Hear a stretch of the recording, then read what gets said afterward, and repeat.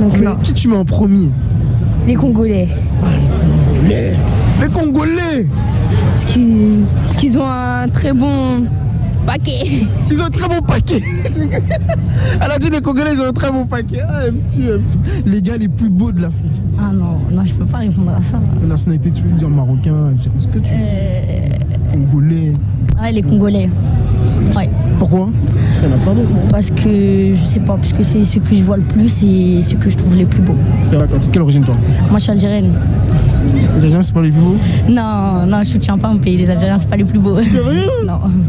Parce qu'on a des réponses pour l'Algérie. hein. Non, non, non, non, non. Non, toi c'est Congolais. Ouais, voilà, c'est ça. Dis-nous les nationalités les plus beaux de l'Afrique. Les plus beaux Le plus beau de l'Afrique, c'est qui? Les Marocains. Marocain. Le plus beau de l'Afrique, on va dire l'Afrique. Euh. Congo Je sais pas qui. Il a dit Congo, je sais pas qui. Congolais. Congo, Congo, oui. Congo Ouais. Pas marocain. A- Ouais, tout. Elle, elle aime que les Marocains. Ouais, ouais. Il y a beaucoup de Marocains en Belgique. hein. Le plus beau de l'Afrique. Mon ex, C'était un quoi? Congolais. Ah, les Congolais, c'est les plus beaux de l'Afrique? Ouais, Sérieux? Ah, ça veut dire qu'il n'était pas très beau. Et toi, qui tu trouves beau dans l'Afrique Personne. Personne. Oui, ça va. De quelle origine Je suis ivoirienne guinéenne. Dans toute l'Afrique, qui sont les plus beaux selon toi Les Congolais. Même pas, tu dis les Ivoiriens. Non, pas les Ivoiriens. Les Ivoiriens, j'aime pas. Les Ivoiriens, t'aimes pas Non, Les Congolais. ouais, les Congolais. Pourquoi les Congolais Parce que je trouve qu'ils ont du charisme, euh, ils sont beaux. Ça va Qui sont les plus beaux de l'Afrique Bah, mon copain. Non, non, on parle de ceux qui veulent. Ah, donc les Maliens, c'est les plus Ouais. Les Congolais. On a 4 pour le Congo, je crois. Les Congolais, tout le monde dit les Congolais. Pourquoi les Congolais Je sais pas, c'est les plus beaux. Pour moi, en tout cas. Sérieux Ouais. Une Guadeloupéenne qui dit les Congolais, c'est les plus beaux. Et les Guadeloupéens Les Guadeloupéens aussi sont pas mal. Hein. Les Loxé, tout ça, là, ils sont pas mal. C'est les plus beaux selon toi Dis-nous pas Cap Non, euh, les plus beaux, euh, on va dire quoi euh, On va dire les. Moi, je suis très Renoir déjà. Donc je vais dire euh, les Renois. C'est pas une nationalité. Ouais, mais bon, vas-y, je vais te dire les Congolais alors. Les Congolais Ouais. Ça va. Comment tu t'appelles? Nakouté, De quelle origine? Malienne. Malienne. Bien, bien, bien. Dis-nous, ma copine, quelles sont les nationalités les plus beaux selon toi? Pour moi, congolais, Congolais euh, martiniquais Ouais, antillais. et Guada. Guada. Tout ce qui est entier. Voilà.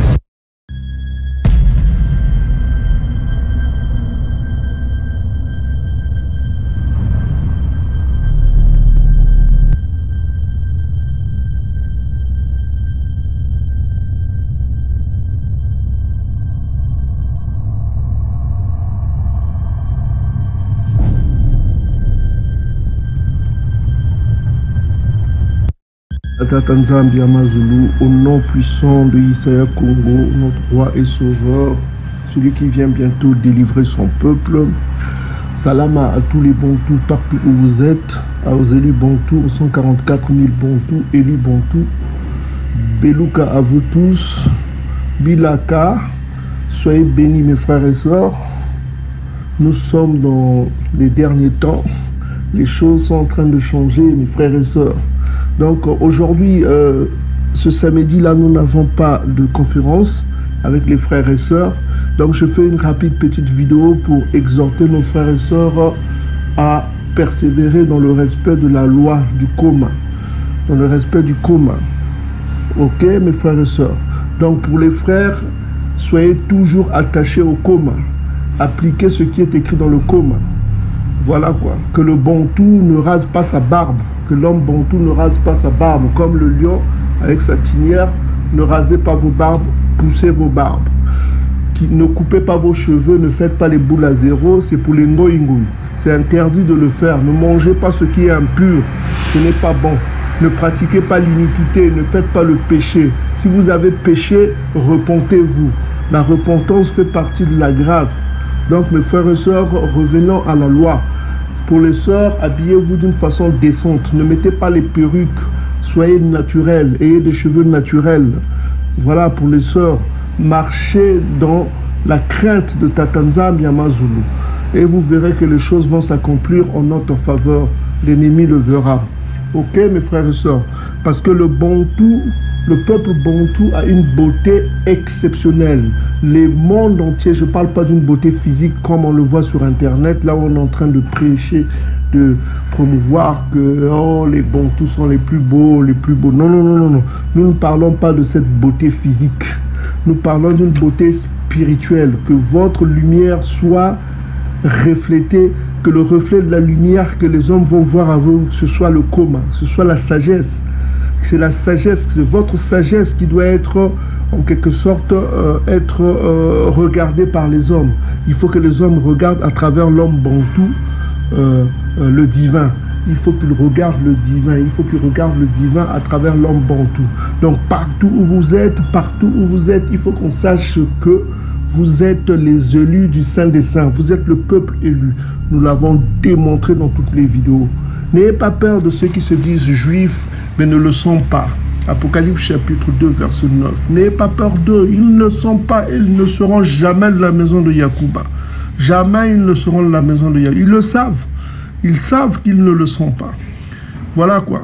Parce que le Tout-Puissant dans Sophonie chapitre 3, verset 8 à 20, il parle de son avènement et il parle de la localité là où il va rassembler en masse ses dispersés. C'est au-delà des fleuves de Nubie le peuple de couche. Donc mes frères et sœurs, ne soyez pas impressionnés par ceux qui se disent juifs mais ne le sont pas. Ne soyez pas impressionnés par le pouvoir qu'ils ont. Ne soyez pas impressionnés par tout ce qu'ils ont. Mais vous, mes frères et sœurs, attachez-vous au coma. C'est le coma qui vous sauvera. C'est votre attachement et l'application au coma qui vous sauvera. Si vous revenez au coma, Yakongo reviendra vers vous. Mais si vous vous éloignez du coma, Yakongo s'éloignera de vous. Donc soyez bénis mes frères et sœurs, Beluka à vous tous, n'ayez pas peur des ngoi ne suivez pas les ngoi, ne suivez pas leur façon de vivre, ne suivez pas leur façon de manger, mais respectez le coma, soyez attachés au coma et fuyez le, le péché comme une peste. Parce que votre récompense sera grande. Grande sera votre récompense. Regardez l'univers, la grandeur de l'univers. Regardez la beauté de l'univers. Regardez tout ce que Yakongo vous promet. Soyez attachés au coma. Dans ces derniers temps, il est impératif pour nous tous, que ce soit ceux qui connaissent le coma ou mettent en pratique, de persévérer avec force. Voilà quoi. Donc si nous lisons un chapitre par jour, lisons deux chapitres par jour, et d'autres trois chapitres par jour, quatre chapitres par jour, si nous jeûnons une fois, jeûnons deux fois. Donc soyons toujours attachés au coma. Ok mes frères et sœurs? Donc le temps est proche. Le temps est proche.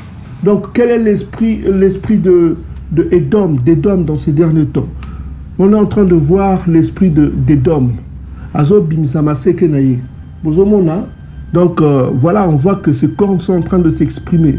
Sa haine, sa méchanceté est en train de s'exprimer. Partout dans le monde, les gens reconnaissent la méchanceté d'Edom un peuple qui punit les autres peuples par les embargos, par le vol de leurs richesses, par Donc, on voit le désordre dans le monde. Voilà, quand un peuple est en train de perdre le pouvoir, on sent, on sent quelque chose qui est en train de se passer. Donc, mes frères et sœurs, bon tout, soyez spirituels dans ces derniers temps. Soyez spirituels, attachez-vous au coma, appliquez le coma, enseignez le coma à vos enfants. Ok? Donc on va lire quelques versets rapidement. Ok, donc euh, aujourd'hui on va lire Ézéchiel chapitre 16 verset 13 pour parler de la beauté parce que j'ai vu sur internet on fait la promotion de la beauté des Bantous. Ah, les Bantous sont les plus beaux, tout ça comme ça, les plus beaux, les plus beaux. Non, non, non, non. Ne soyez pas impressionnés par ça. Mais cherchez la beauté intérieure. Cherchez la beauté dans, dans le coma, dans la sagesse. Ok? Et Yakongo vous donnera le bina, vous donnera la compréhension. Donc, euh, mes frères et sœurs, soyez plutôt, euh, ayez le reflet et que les gens voient en vous que vous êtes le peuple élu. Ok, mes frères et sœurs? Qui ne voient pas votre beauté extérieure, qui voient que vous êtes le peuple divin. Donc, euh, Euh, Ézéchiel chapitre 16, verset 13 dit ceci. Ainsi, en parlant de, du peuple bantou, voici ce que dit Yakongo. Ainsi parle Yakongo. Ainsi tu fus paré d'or et d'argent, tu fus vêtu de fin lin, de soie et d'étoffe brodée. La fleur de farine, de miel et de l'huile. La fleur de farine, le miel de- et l'huile furent ta nourriture tu étais d'une beauté accomplie. Donc c'est ce qu'on parle de- des peuples bantous. Quand ils étaient attachés à la loi, ils étaient d'une beauté accomplie, digne de la royauté. Et ta renommée se répandit parmi les nations, car elle était parfaite, grâce à l'éclat dont je t'avais orné, dit Yacoub. Maintenant, au verset 15. Mais tu t'es confié dans ta beauté et tu t'es prostitué à la faveur de ton nom. Tu as prodigué tes prostitutions à tous les passants et tu t'es livré à eux. Donc c'est ça le péché. Le péché, c'est de suivre les de suivre les pratiques des de suivre le, christianisme édomite, de suivre l'islam is- euh, de suivre le judaïsme amalékite. Donc, euh, ce n'est pas pour nous. Restons attachés au coma qui est notre héritage dont nous avons démontré dans les multiples euh, vidéos. Maintenant, quel est l'esprit qui anime actuellement Edom? Vous entendez dans l'actualité, Edom manifeste sa haine, sa méchanceté, tout ça comme ça. Qu'est-ce quel est l'esprit qui anime Edom dans ces derniers temps? On va aller rapidement, de comprendre l'esprit qui anime Edom dans ces derniers temps. Donc, euh, nous allons dans Lamentation chapitre 4, verset 21. On dit ici, rejouis-toi, tressaille d'allégresse, fille d'Édom. Donc, euh, l'esprit de Congo demande à Édom de se réjouir, de se réjouir, de tressaille, tressaille d'allégresse, fille d'Édom. Donc, on demande à Édom de se réjouir, habitant de Hout. Donc, on lui demande de se réjouir pendant qu'il a encore le temps, quoi. Pourquoi on lui demande de se réjouir? On lui demande, ça, ça se rapporte à Ésaïe chapitre, Ésaïe chapitre 22, verset euh, ta, ta, ta, ta, 13. On dit ceci, et voici la gaieté et la joie, on égorge les bœufs et l'on tue des brebis, on mange de la viande et l'on boit du vin. Mangeons et buvons, car demain nous mourrons. Donc ça, c'est l'esprit qui anime Edom. Parce que Edom, le travail qu'il a fait, fait par beaucoup de bantous, que ce soit ceux des États-Unis, ceux partout, de prêcher partout, qui est Edom. Que Edom n'aura pas de salut, que Edom est fini. Edom le sait qu'il est Edom maintenant dans ces derniers temps. On est en train de manifester l'homme impie. L'homme impie qui est Edom. Edom est en train d'être révélé.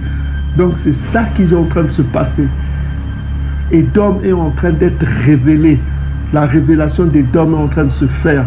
Celui qui cachait son identité est en train d'être dénudé. On est en train de montrer sa nudité, le méchant. Ok, mes frères et sœurs? Donc on dit ici que, et voici la gaieté et la joie, on égorge des bœufs et l'on tue des brebis, on mange de la viande et l'on boit du vin, mangeons, buvons, car demain nous allons mourir, car demain nous allons mourir. Et Dom le sait qu'il n'a pas de salut, il n'y a pas de salut pour lui. Ah, Ok Dernièrement, nous avons donné la, parabole que vous avez vue, que vous avez entendue, du, scorpion et du poisson-chat. Donc ceux qui ont le bina, ceux qui ont le bina, ceux qui ont reçu le bina de Yakongo, ils ont compris. Ok mes frères et sœurs. Donc nous revenons dans, dans euh, Lamentation chapitre euh, euh, 4. Rapidement, Lamentation chapitre 4, verset 21. Donc on dit, rejouis-toi. Donc on demande à Edom de se réjouir. Donc ça veut dire qu'il mange, qu'il boive, parce que demain, euh, quelque chose va arriver à Edom. Ok? Il a le temps de se réjouir. Il lui reste peu de temps. Parce que le temps passe tic-tac, tic-tac, tic-tac. Ok Apocalypse chapitre 12. Le dragon sait qu'il a peu de temps. Il a peu de temps. Il lui reste peu de temps. Donc il a le temps de se réjouir. qu'il aille dans Disney, qu'il aille faire ceci, etc., etc. Donc on dit que, habitant de Ous, vers toi aussi passera la coupe. Ok? La coupe, c'est quoi? C'est la colère de Yakongo. Donc il va prendre le relais. On a déjà démontré dans les vidéos précédentes. Maintenant, pourquoi on demande aussi à Edom de se réjouir pour comprendre pourquoi on demande profondément? Parce que le livre des Apocryphes va répondre à ça d'une façon large. On va aller dans les Apocryphes pour comprendre la mentalité actuelle dans ces derniers temps d'Edom. Quelle sera sa mentalité? Vous allez comprendre quelque chose. Donc, prenez vos Bibles, allez prendre la Bible euh, Apocryphe de Tob. Vous allez dans, euh, dans Coma de Takwela, c'est-à-dire de Salama. Ok? Donc on va aller dans le coma de Salama. La sagesse de Salomon, que vous appelez, au verset 2. On va prendre le verset, je crois, 6. Alors, on va comprendre. Comprenez maintenant la mentalité qui anime Edom dans ces derniers temps. Parce que Edom sent que sa fin est proche. Vous remarquez, ceux qui sont spirituels sont en train de comprendre. Maintenant, on va vous montrer actuellement quelle est la mentalité d'Edom et quelle sera la mentalité d'Edom dans ces derniers temps. Soyez attentifs. Ça, c'est très prophétique. Ce que vous allez entendre, vous n'entendrez nulle part.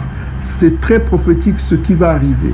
Et c'est pourquoi on vous l'avait dit que préparez-vous à quitter la maison des Dômes. Quand vous verrez que les gens commencent à fuir la maison des Dômes, vous aussi faites vos bagages, fouillez la maison des Dômes.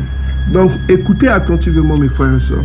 Nous sommes dans le coma de Salama, sagesse de Salama. On dit ceci. Venez donc, réjouissons-nous des biens. Toujours comme Ésaïe chapitre 22 verset 13 l'a dit. Qui est Lamentation chapitre 4 verset 21 l'a dit. Écoutez attentivement. Au verset 6. Venez donc, réjouissons des biens présents, dit Edom, usons des créatures avec l'ardeur de la jeunesse, enivrons-nous de vin. Vous vous souvenez ce qu'on a dit dans Ésaïe chapitre 22, verset 13 C'est la même chose. Enivrons-nous de vin précieux et de parfum, et ne laissons point passer la fleur du printemps. Ok? Couronnons-nous de boutons de rose avant qu'ils se flétrissent.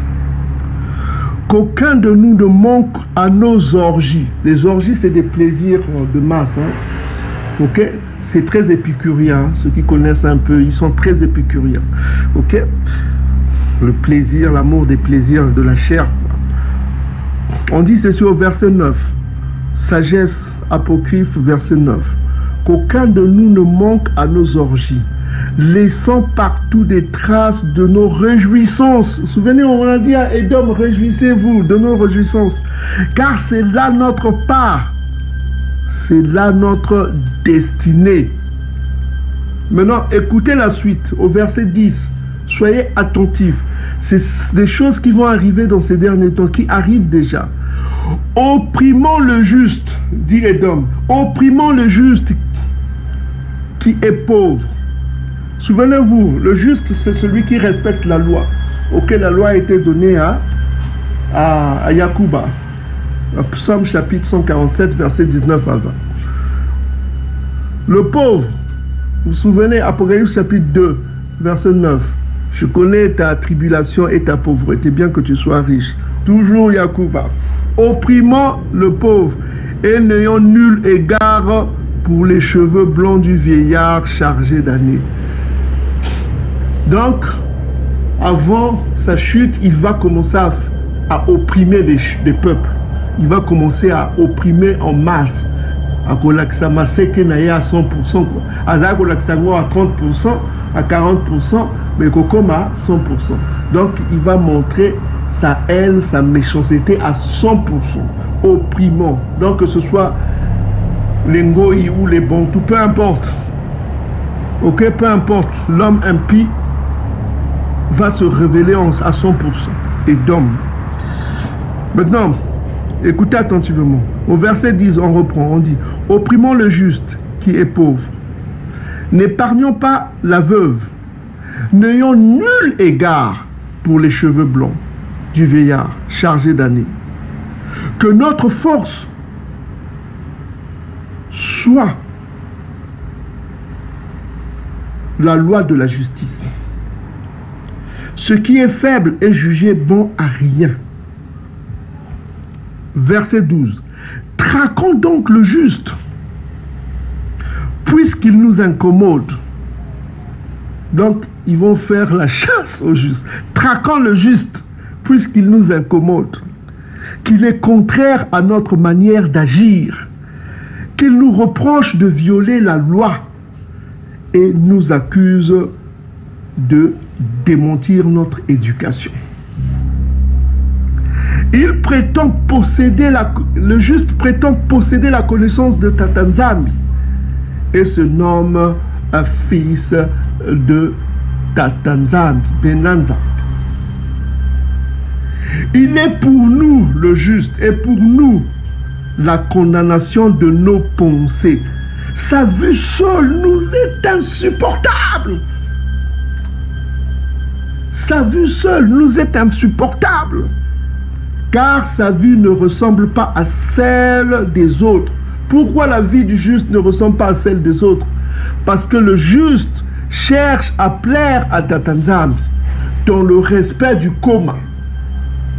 Il évite de manger du porc. Il évite de fréquenter des lieux de débauche. Il évite de pratiquer l'iniquité. Il évite des choses qui sont contraires au coma. Et Edom va le remarquer. Edom va le remarquer. Et il le remarque. Ok? On dit ceci au verset 15. Car sa vie ne ressemble pas à celle des autres.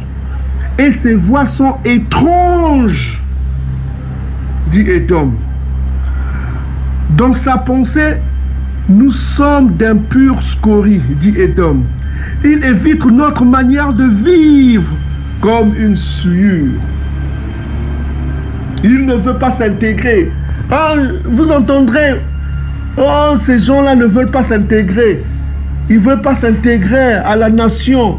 Hein? Ils ne veulent pas s'intégrer. Mais il y aura un temps là où on va vous obliger, ok, avoir leur marque, à porter leur marque. Si vous n'avez pas leur marque, c'est là où ils vont reconnaître qui est le juste et qui est, qui est avec eux. Soit vous êtes avec eux, soit vous êtes contre eux. Préparez-vous mentalement à ça, peuple Bantou. Préparez-vous à ça. Il y aura des choix à faire.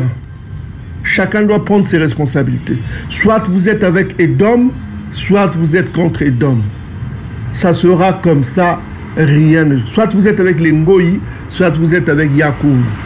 Il y aura un choix difficile à faire. Ok? Toujours est-il, ceux qui ont déjà compris, qui commencent à quitter la maison des hommes, ils vont comprendre. Vous aurez des choix à faire. Sachez-le, je ne peux pas vous mentir, je dois vous le dire.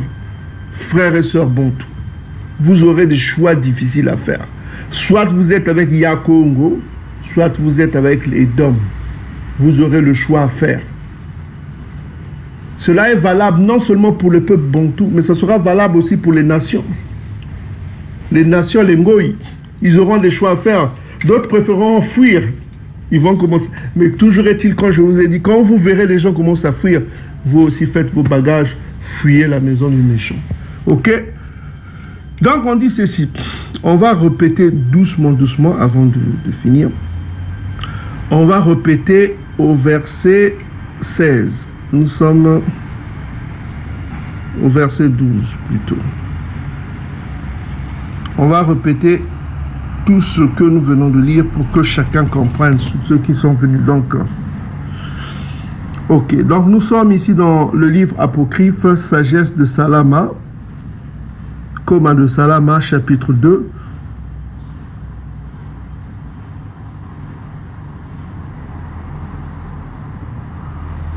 Ok. Sagesse de Salama, chapitre 2, verset 6. Nous allons reprendre pour que vous compreniez ce qui est en train de se passer, la mentalité des hommes, ce qui est en train de faire et ce qui va commencer à faire. Donc on dit ceci. Sagesse de Salama, on répète petit à petit pour que vous compreniez la mentalité des dômes et ce qu'ils sont en train de faire et ce qu'ils sont en train de préparer. L'agenda des dômes dans la suite des temps. Donc on dit ceci, venez, jouissons des biens présents, usons des créatures avec l'ardeur de la jeunesse. Verset 7. Enivrons-nous de vin précieux et de parfum et ne laissons point passer la fleur du printemps. Souvenez-vous, on a dit que le jugement d'Edom, on demande à Edom, réjouissez-vous, ok, car la coupe passera vers vous. Donc avant que la coupe passe vers Edom, c'est la mentalité d'Edom que nous sommes en train de voir et c'est la mentalité d'Edom et son agenda. Ce qu'il va faire. Enivrons-nous de vin précieux et de parfum et ne laissons point passer la fleur du printemps. Verset 8. Couronnons-nous des boutons de rose avant qu'ils se flétrissent. Verset 9. Qu'aucun de nous ne manque à nos orgies. Les orgies, c'est des plaisirs épicuriens. Laissant partout des traces de nos réjouissances. Souvenez-vous, on leur a demandé de se réjouir. Lamentation chapitre 4, avant que la coupe passe vers eux. Car c'est là notre part, c'est là notre destinée. Ils ont compris que leur destinée, c'est ça. Ils doivent se réjouir avant que la coupe passe vers eux. C'est pourquoi ils disent c'est là notre destinée. Verset 10. Écoutez leur agenda. Ce qui est en train de se faire déjà et ce qui va se faire en plus. Opprimons le juste qui est pauvre. N'épargnons pas la veuve et n'ayons nul égard pour les cheveux blancs chargés d'années. Ils n'épargneront personne et ils n'épargnent personne. Verset 11. Que notre force soit la loi de la justice qui est faible et jugé bon à rien. Donc celui qui est faible, selon leur justice, est jugé bon à rien. Le faible n'a pas sa place dans le royaume qui dans l'imagination édomite qu'ils sont en train de préparer. Le faible n'a pas sa place. Ok? Celui qui est faible n'aura pas sa place. Écoutez attentivement. Verset 12. Traquons donc le juste, puisqu'il nous incommode, qu'il est contraire à notre manière d'agir, qu'il nous reproche de violer la loi et nous accuse de démentir notre éducation. Le juste refuse de s'intégrer en un mot. On lui reproche de refuser de s'intégrer, de refuser de participer. Ok? Puisqu'il refuse de participer, il doit faire un choix, mes frères et sœurs. Soit vous êtes avec Edom, soit vous êtes contre Edom. Il y aura des choix à faire, mes frères et sœurs. Écoutez attentivement. Ok. Verset 13. Le juste prétend, c'est-à-dire il prétend posséder la connaissance de Tatanzambi Amazou et se nomme fils de Tatanzambi. Verset 14. Il est pour nous, le juste est pour nous, dit Edom, la condamnation de nos pensées. Sa vue seule nous est insupportable. car sa vie ne ressemble pas à celle des autres et ses voies sont étranges. Donc Edom trouve les voies du juste. Le juste est Jacob, de ceux qui aiment le commun. Il trouve que ses voies sont étranges.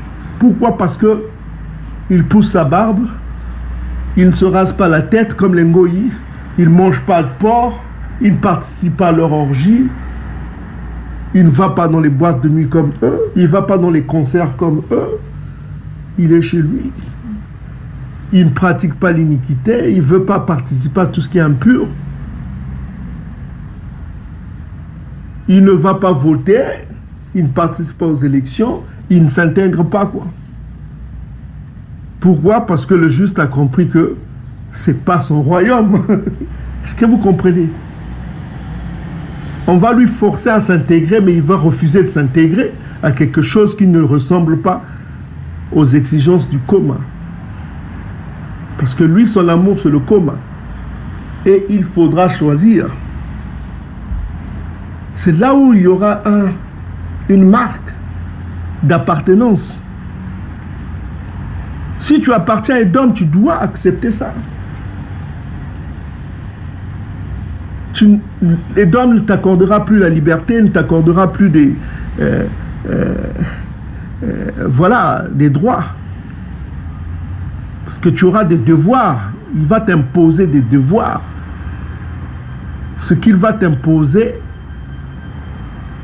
ça sera terrible. Tu dois choisir entre Edom et Yakongo.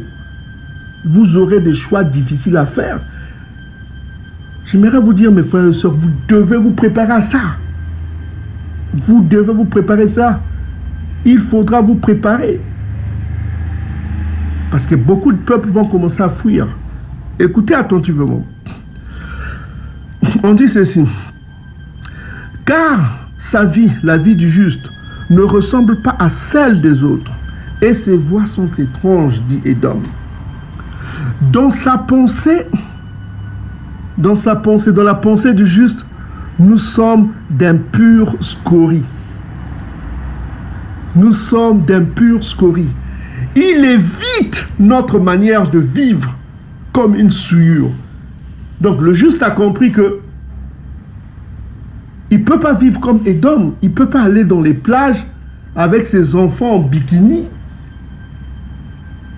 Il va éviter ça. Parce de montrer sa nudité à ses enfants, à des gens, la nudité, c'est la loi, quoi. Tu peux pas.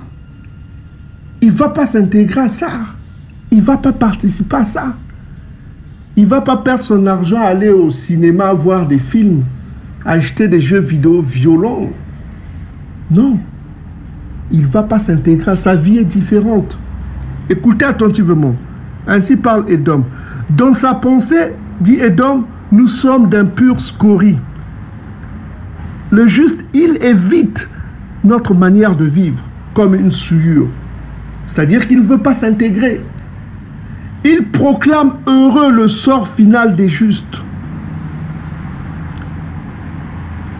Et se vante d'avoir Dieu pour père, pour père. C'est pourquoi les Bantous disent toujours Tatanzambi, c'est-à-dire Dieu le Père, Tata. Il précède Tata, parce que le monde Zambi, ce n'est pas un nom divin, mais c'est. C'est. Dieu, quoi. Langue Congo. Ça vient de Nzabilakana, qui veut dire celui qui est omniprésent. Il se vante d'avoir Dieu pour Père, dit Edom. Verset 17, écoutez la mentalité. Voyons donc si ce qu'il dit est vrai. C'est là où vient ce qu'on appelle l'imposition du choix de la marque. L'imposition du choix à faire. Verset 17 va dire ceci. Écoutez attentivement. Voyons donc si ce qu'il dit est vrai. S'il a Dieu pour Père. Examinons ce qui lui arrivera au sortir de sa vie. Car si le juste est fils de Tatanzambi, Tatanzambi prendra sa défense et le délivrera de la main de ses adversaires. Verset 19. C'est là où ils vont imposer la marque. Soumettons-le aux outrages et aux tourments afin de connaître sa résignation et de juger sa patience.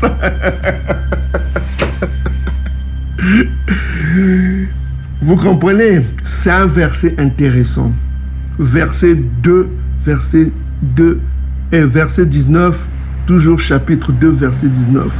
Soumettons-le aux outrages, c'est-à-dire aux souffrances et aux tourments, afin de connaître sa résignation et de juger sa patience, de voir s'il va vraiment continuer à sa, sa patience. Souvenez-vous ce que Isaïe avait dit.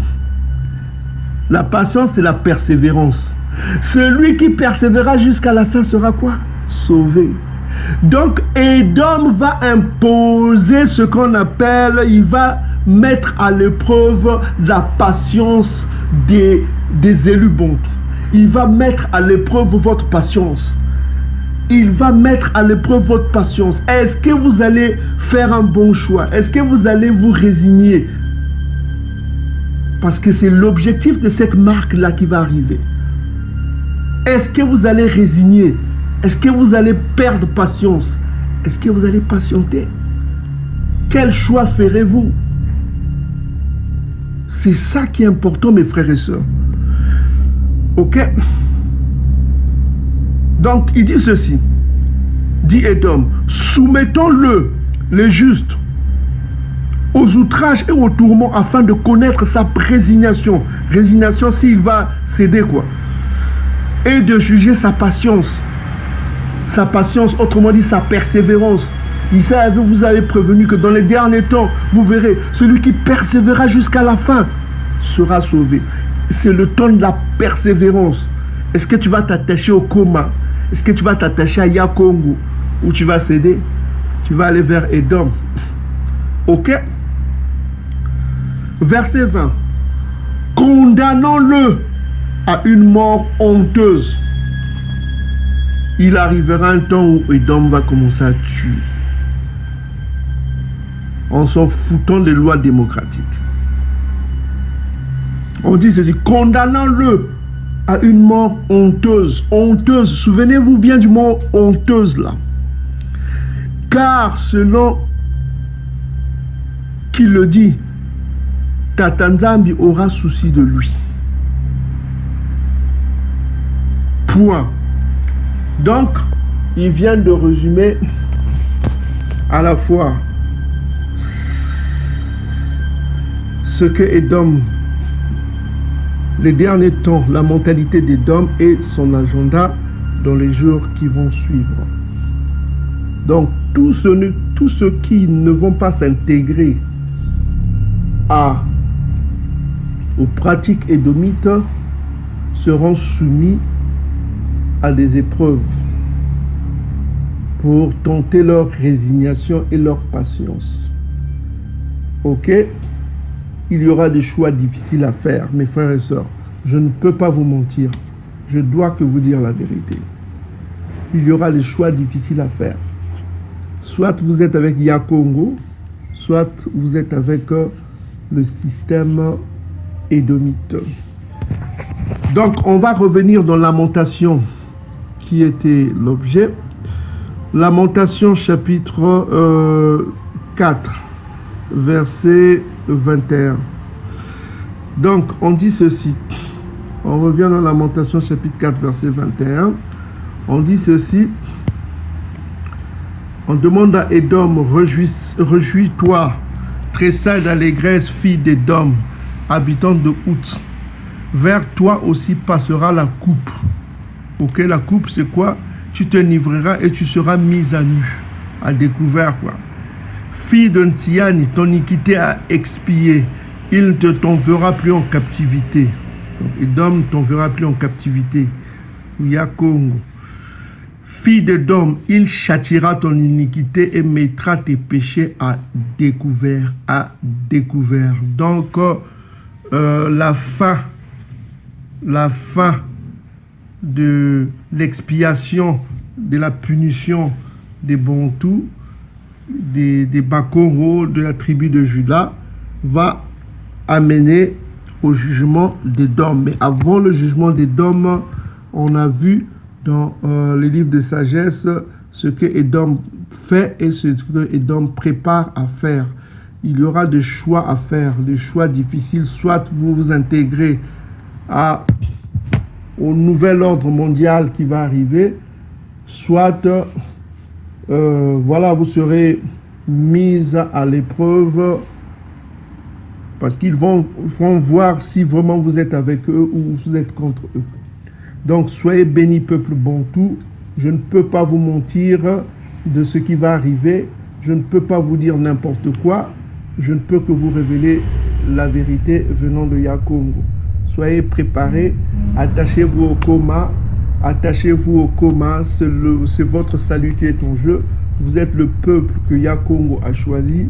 Votre récompense sera grande, quelles que soient les épreuves.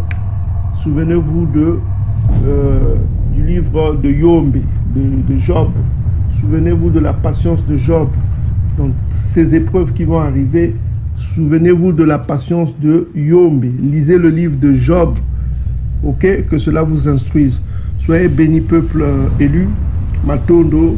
On reviendra dans une conférence et on répondra des questions et réponses.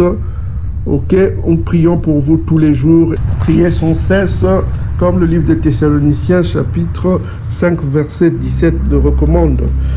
Voilà, soyez bénis, peuple élu. N'ayez pas peur, n'ayez pas peur. Matondo.